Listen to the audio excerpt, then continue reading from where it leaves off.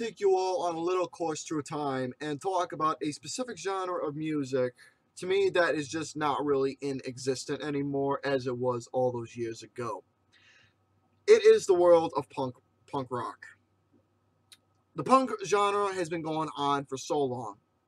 I believe from like the late 50s up into the 70s is where it really picked up. Especially in like the mid to late 70s in the UK territories, punk was where it's at. The genre was all about being different. It was all about going against the machine, going against the course of the government, the political bullshit that was transpiring, the beliefs, the society, the system. It was all about speaking up for those who, if you see like a random couple just walking down the street who are not happy with the situation that they are currently living, you had a particular band, an image, writing down the words, taking all the backgrounds of all the shit that was being showcased on television, being written into music, and speaking for others who couldn't be able to speak for them. So when it come to, came to the lyrics, that's what it was all about. Having logic, believability, understanding, and saying fuck you. That's what the lyrics was all about. But when it came to music, it was loud, it was raunchy, it was edgy, and it, it was fantastic. The presentation alone, it didn't matter if you were able to play or not. It didn't matter if you had the talents or if you couldn't even hold a particular note or able to sing the words. If you had an image and the people fucking loved you for what you were doing and you were able to at least keep a simple beat, beat together on stage, you were fucking making it. In the world of punk music, there's been many great bands that came out throughout this time period. There's the Buzzcocks, New York Dolls, the Stooges, uh, Siouxsie and the Banshees, ba Bad Brains, X-Ray Spex, Dead Boys. Uh, did I say Black Flag? Well, if I'm not, I'll say it again. The Clash and the Ramones are two of the biggest names that you can think of is those two. You had Joy Division, Television, Talking Heads in the earlier years, The Jam, Stiff Little Fingers, The Stranglers. Motherfucker, I can give you so many different bands out there in the world of punk music that were extremely influential, whether they were well known or underground. The Undertones, The Adverts, X, Generation X, Billy Idol's group before he went solo. I can go fucking on. Even in the new wave genre, there were bands that actually started off as punk. Because the thing is that in the world of music, you need a start somewhere in a specific genre. Whether you're doing like raw, edgy synthesizers, or if you're doing like something completely bland and boring, things that you always have to find a start somewhere for you for you in order to grow. Whether if you are a solo artist or you are a band. I'll give you a couple ones right now that start off as punk bands and end up growing, whether if they change their sound up or discover it into a particular genre that they absolutely love. Here's a couple right now. Again, Generation X, when Billy Idol started off, he can he kept his punk image, but he progressed on into his sound and changed up his stuff. He stayed true to his original format, but he became something afterwards while adding the experimental value. Look at Devo. They didn't have that punk look, but they had their own image because it was all about creativity for them. XTC is another group that started off with a punk sound and progressed further. But despite all that, I digress here.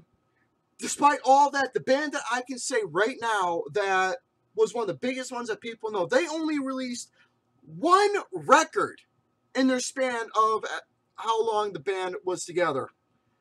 Everybody knows who they are. When you say the name The Sex Pistols, you know who the fuck I'm talking about.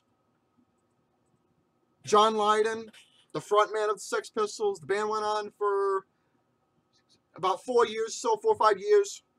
Wasn't very long.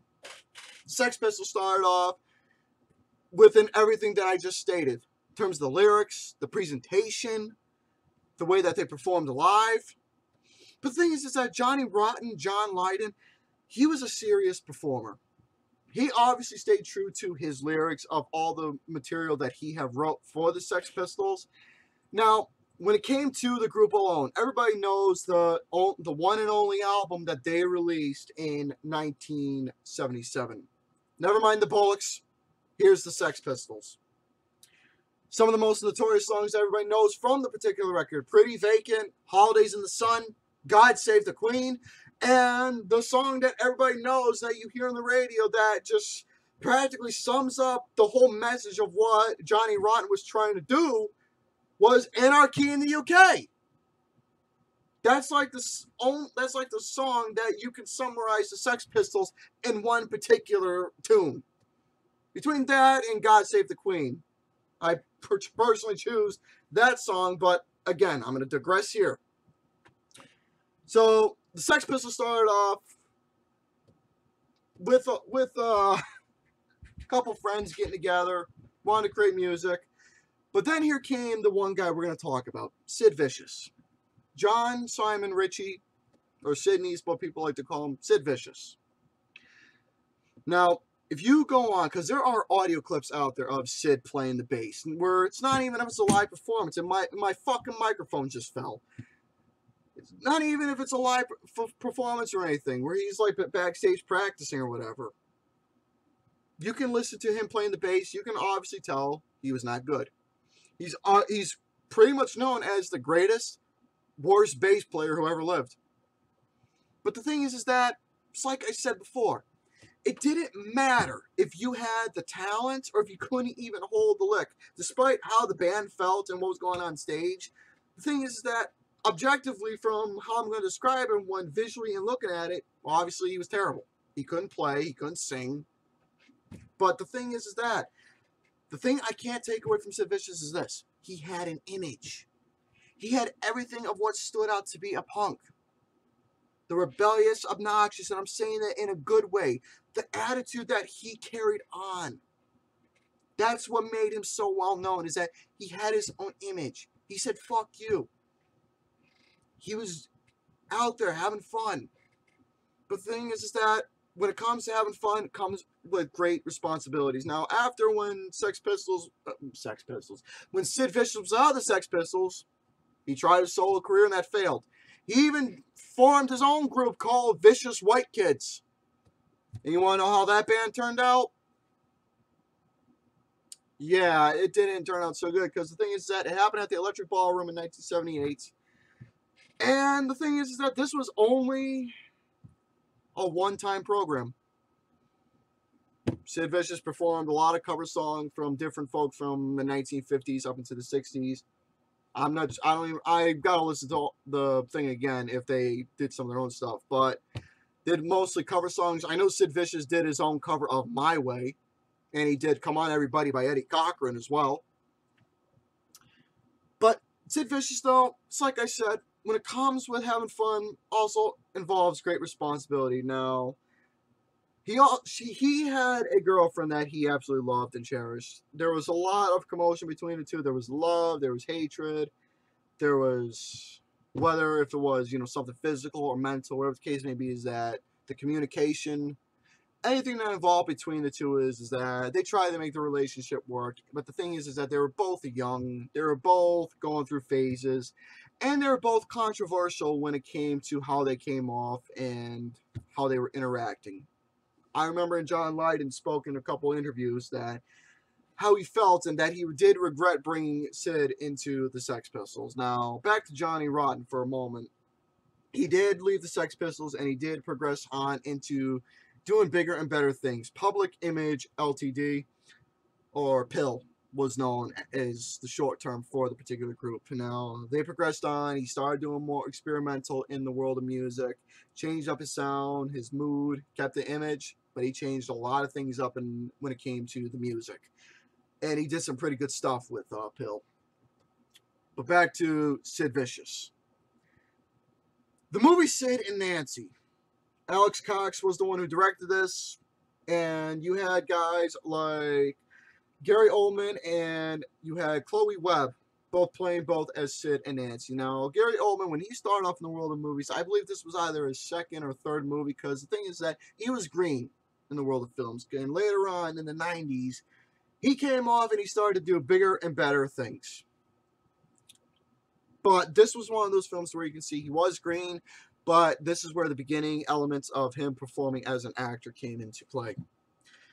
Now, when it came to his pr presence as Sid Vicious, He had the he obviously had the look. He had the mannerisms. He even portrayed hell. He even covered songs that Sid Vicious even covered himself. So basically, he covered a cover. He did My Way. He did I Want to Be Your Dog. Two songs I can think of that was featured in the movie that he did cover. The presentation, the mannerisms, the way he was singing it. Because the way how it was all slur and all sloppy and everything. That's how Sid did it. Trying to have the voice. Gary Oldman was able to rectify and represent that so well. Because he brought them that inside look of how he was when it came to performing. Gary Oldman did a fantastic job, not just when it came to the on stage performance, but even playing the bass itself sloppy, having the actual bass that Sid play, not the real one, but the same Fender that Sid did play. Hell, the representation where Sid had the fucking uh, busted nose that he had where he got punched in the face. That was even showcased a little bit in the film. I really respect the movie that they were able to stay to a lot of things, whether if it was accurate or not, they were able to stay true towards the person. Same with uh, Chloe Webb as Nancy Spunk, uh, as uh, Nancy. I'm not gonna say the last name though, because I'll probably butcher it, but I'm just gonna refer to her as Nancy. Even the how she performed as her was was just believe was good, and it was obviously believable, because it just gives you that visual presence that this is how they were behaving. The thing is, is that the members of the Sex Pistols, John Lydon in particular, the way he was observing how these two were behaving, you know, acting all immature and everything that they need to get their act together. John obviously got pissed, but the thing is, is that he cared about his friend. He cared about Sid. He wanted him to get his act together. It was either dump Sid and continue on with the move, or continue being in a rut he had it was either one or the other that was going on in the movie. So that's what happened. The Sex Pistols progressed, and what did Sid do? Like I said, he went to solo, which ended up being a failure.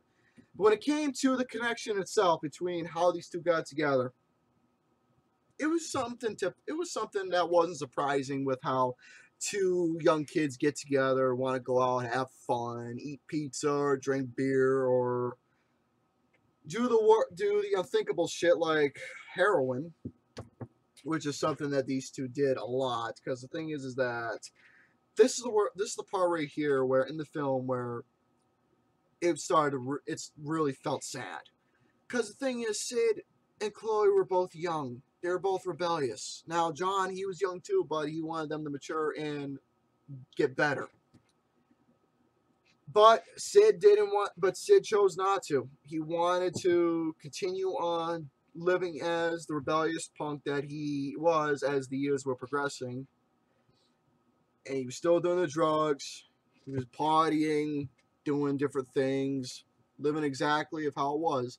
The thing is, is that in the late 70s, it was going into the new realm of music. Things were changing up a little bit, whether it was the punk genre or something new and it really amazes me how they were able to really take the take those and just uh, showcase that in the film. I felt sad watching this movie. I felt heart wrenched for the behavior. I felt a lot of things going on in this film that was just really bringing that believability that really just wanted to take me in back into that time, just sitting here picturing it of okay, seeing how this young kid is, you want him to get better or become a bass player, better bass player, how actually legitimately learning and taking lessons for him to grow and become somebody as a performer specifically. So there was a lot of things going on in this movie that I just really couldn't even help but just admire, but at the same time felt sad about. The, the film had a great balance between both the music, the relationship, the ins and outs, the pros and cons of maintaining it between both the world of music and the band itself. Everyone did a did their job playing in the film, especially bringing in different political values of what was going on during that time of what the punk genre was symbolizing. Seeing that little visual presentation was really good. Hell, if you even went on a fucking YouTube to look it up, you'll get the idea. But if you watch a movie where they actually take the ideal pre- the ideal premises uh, the ideal premises of all the shit that was happening and they were able to take that and turn it into something believable something of a real life situation and believing it into a movie standard of giving you all exactly that this is shit that was going down it was just it was just odd so sid and nancy so like i said while watching this movie i was very fascinated with the whole entire story itself going into a deep dive within the relationship, the ins and outs. Gary Oldman did a did a really good job playing as Sid Vicious. Chloe Webb did a superb job playing as Nancy. And um, I don't know who the one actor's name was who played as Johnny Rotten. His I was mostly focusing on his particular role because the thing is, is that the way he came off, he had the mannerisms, he had the look, he had the logical elements of what John Lydon has as a human being uh, spe- staying true to himself, being honest, speaking uh, logic, and not giving a shit of what others say, believing in himself, musically and figuratively. So the supporting roles were something I really paid attention to a lot because I thought those were just very. I was actually more invested with those than it is with the actual main thing, but that's my own inner thought, not towards my actual summarized perspective on the film itself. So, to sum it up, this was a very good movie. It was emotional.